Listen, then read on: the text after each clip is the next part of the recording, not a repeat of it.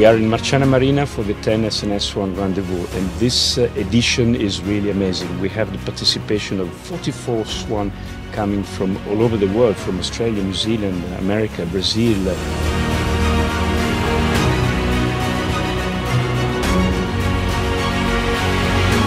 It's simply amazing. It's a very great inspiration for all of us in Nautor because you really need to know where you come from for going ahead.